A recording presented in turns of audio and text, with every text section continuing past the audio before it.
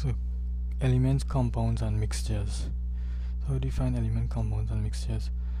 Well, matter, we know everything is made up of matter, right? Matter is made up of solid liquids and gas, right? These solid liquid gas can be classified further. Classify them into pure substance and mixtures. One pure substance. Pure substance, let's look at pure substance. Pure substance can be further classified into elements and compounds, right? So an element is substance that has one type of atom. Right? It can't be broken down any further. Element cannot be broken down any further. Example: hydrogen. Right? Hydrogen cannot. Hydrogen contains one atom. Right? One neutron, one proton, one electron. Can't break it down. You can't break that down. A compound contains two or more different types substance compound two or more elements two or more elements right the compound contains two or more elements for example water water contains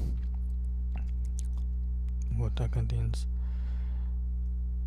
hydrogen water contains two hydrogen and one oxygen right? Two hydrogen and one oxygen contains two, uh, two hydrogen and one oxygen, right? Something like this.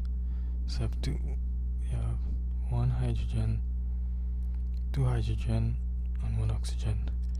So it contains two elements. Now this is bounded together, right? Properly. Is mixed different. Is mixed together. It's combined chemically. So that's a compound. Mixtures, on the other hand, um, so mixtures is like when two compounds mix together different types of mixes ho- heterogeneous and homogeneous well let's go homogeneous homo means one right? It forms one complete thing. That's homo means. Homo has it's completely mixed together. For example if you take salt if you take salt and, and water like when you're making tea right? You take you take sugar and water so you're making tea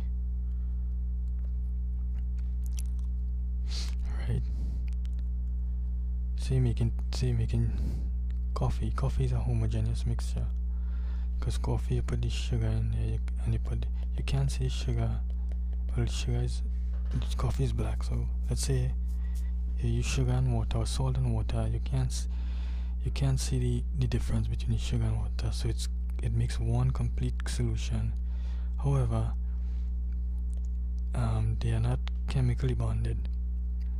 The, the, sugar is in there but you just can't see it. It's, it's mixed completely.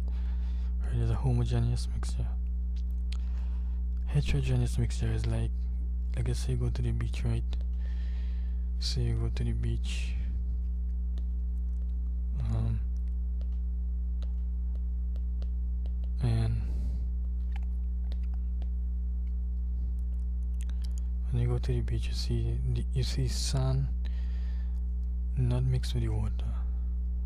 The sun I mean the sun says the sun here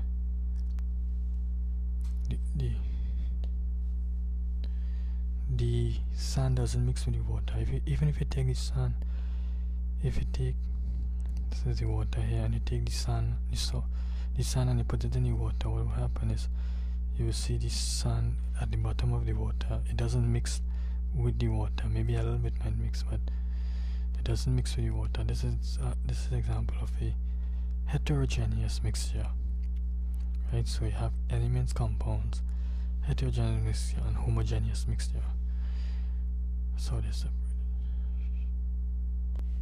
so given a question this image represents a, part a particular view of a sample of matter. Classify a sample according to its composition.